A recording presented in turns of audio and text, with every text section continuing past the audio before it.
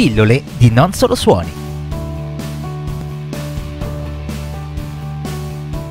Ben ritrovati, oggi spazio ad un gruppo musicale pop che si è imposto sulle scene negli anni 70 e ha continuato ad avere successo fino allo scioglimento nel 1982. Stiamo parlando degli ABBA svedesi, nati proprio nel 1970 con un nome che è l'acronimo delle iniziali dei componenti, ovvero Agneta, Benny, Bjorn e Annie Fried, detta Frida. Eh, tra l'altro due coppie sposate che però si separarono proprio al culmine della carriera.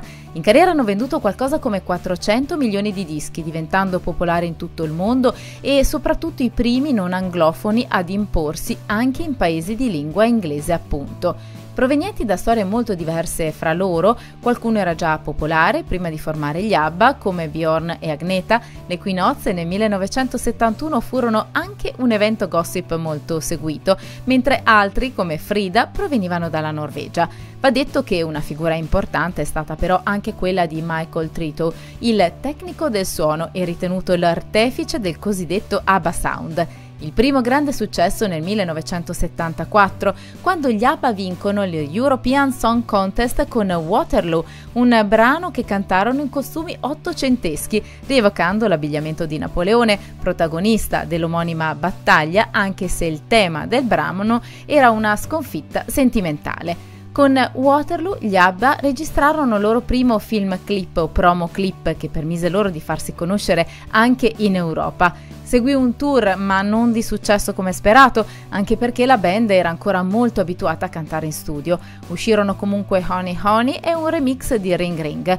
Nel 1975 invece ecco il boom con il singolo I Do, I Do, I Do, I Do, I Do in stile retro in Australia, Nuova Zelanda, Sudafrica e Germania, mentre nel Regno Unito si imposero con SOS, il più grande successo degli ABBA in Italia, anche perché come lato B aveva Mamma Mia, una canzone mai uscita come singolo.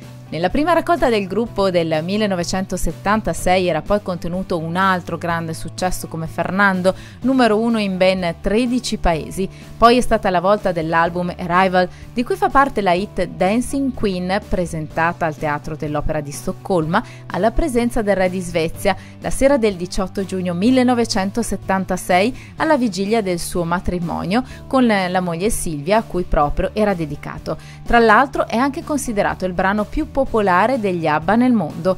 Dopo questo disco la cosiddetta ABBA mania era ormai certificata, soprattutto in Australia e Nuova Zelanda, ma non solo. Nel tour seguente e per la tappa di Londra furono chiesti 3 milioni e mezzo di biglietti, sufficienti per riempire ben 580 volte la Royal Albert Hall, mentre i 12 concerti australiani furono visti da un totale di 160.000 persone. Venne quindi realizzato anche un film documentario sul tour intitolato ABBA Spettacolo, che uscì in contemporanea con ABBA The Album, lanciato dal singolo The Name of the Game. L'anno dopo fu quello anche del punto più alto in carriera, ovvero il 1978, quando gli ABBA lavorarono molto per la promozione negli Stati Uniti, ad esempio cantando allo show di Olivia Newton-John.